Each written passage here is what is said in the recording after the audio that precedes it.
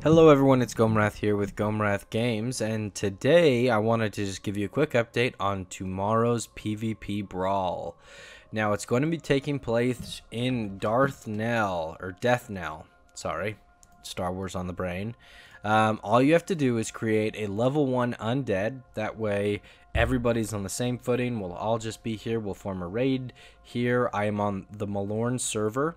It'll begin 7 p.m. server time. I will start streaming at about uh, 6:45 ser server time, and I'll only be streaming for about 15 minutes, uh, so that people can jump in the stream and get into the PvP event. Now, the reason I'm only going to be streaming the first 15 minutes of it is I can only stream at 240p, and I want to capture everything in um, 1020. So I'll be doing all the capturing after about 5:15 or so on my computer. I have a Discord server set up by one of my awesome fans. Uh, shout out to Hannah E. Thank you so much. It's really helpful.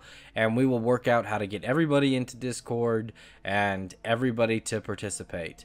Now, the theme will be wild caught pets exclusively of the Eastern Kingdoms. So only pets that you can catch out here.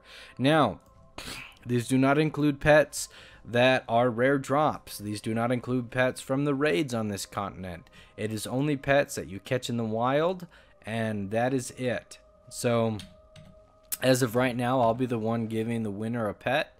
Um, I'm not sure what it'll be, but just tune in tomorrow to the stream and get ready for some wonderful pet battles.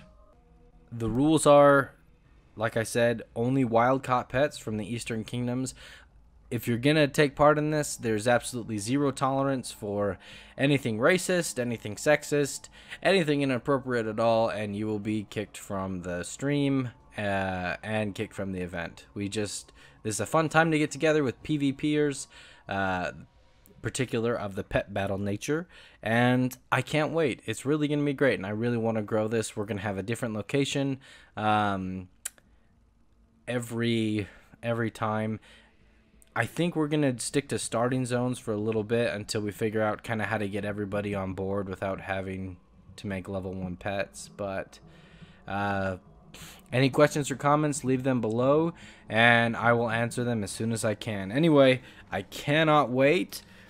Look in your pet journals, create some awesome teams, and uh, let's let's battle it out. Let's brawl.